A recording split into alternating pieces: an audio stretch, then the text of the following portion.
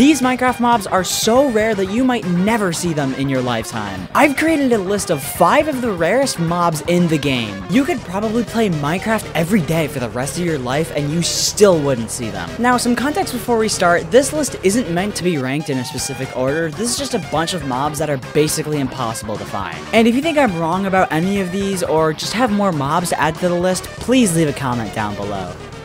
The Skeleton Horse. The Skeleton Horse spawns naturally, usually when lightning strikes. They come in another form known as a Skeleton Trap Horse, also spawned by lightning generated by a thunderstorm. When the player gets within 10 blocks of the Trap Horse, a bolt of lightning strikes to the ground, summoning three Skeleton Horsemen with enchanted bows and enchanted iron helmets. The chances of one of these spawning depend on your world difficulty, but on normal mode, it has a 1.5 to 4% chance of spawning. So yeah, kinda terrifying.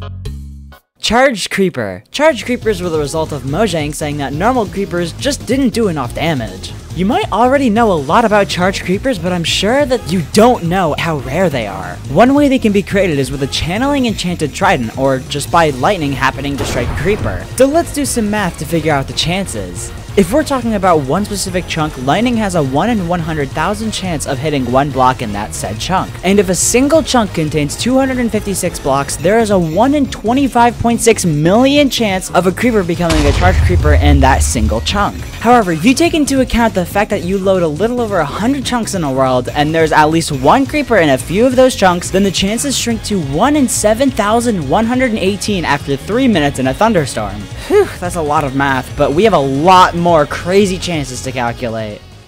Brown mushroom. Now, the brown mushroom is where things get really interesting, and I'll go into exactly why. Brown mushrooms are slightly similar to the charged creeper in how they can be created. The brown mushroom can also be created by a normal mushroom getting struck by lightning. And the math behind that is crazy complex because you also need to take into account the chances of a mushroom island biome generating, so the chances are extremely small. However, there is a chance for them to be spawned when breeding two red mushrooms, coming in at about 1 in 1024.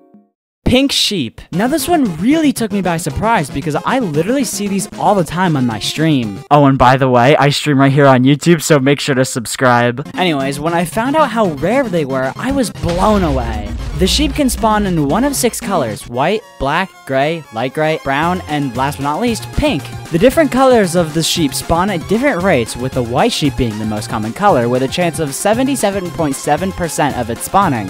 However, for the pink sheep, it comes in at a crazy low chance of 0.16% chance of its spawning. But there's an even rarer spawn for the sheep. The sheep can spawn as either an adult or a baby, and the chances of an adult spawning is 95%, while the chance of it being a baby are 5%. So the chances for a baby pink sheep to spawn is an incredible 0.0082% chance. Incredible! But I've got something even better to present to you. A user on Reddit named u slash victorykid465 posted a picture to r slash Minecraft which shocked me. The photo shows a, very poorly taken, screenshot of a spider jockey with a baby zombie wearing full golden armor. Now, thanks to a redditor in the comments, they did all the math for me, so thanks. Typically, baby zombies riding something with full armor on is incredibly rare. So let's get into that. The chance of a baby zombie spider jockey with full golden armor spawning has a whopping 0.000771% chance and the chances can get to astronomically low levels if they're holding an item, if both the item and armor has an enchant, and much more. But this is just absolutely insane, and I think this is a perfect place to end this video. If you like this video, make sure to subscribe. As a new YouTuber, it really helps me out a lot. I also made a video about Minecraft accounts worth thousands of dollars. It's insane. Just click there if you want to see it. You won't want to miss it.